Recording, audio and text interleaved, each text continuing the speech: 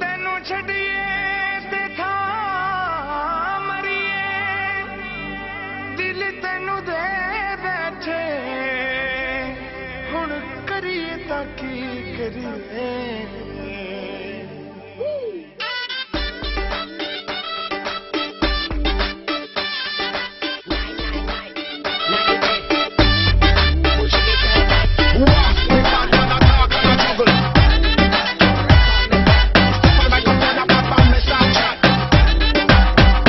ਤੈਨੂੰ ਪਿਆਰ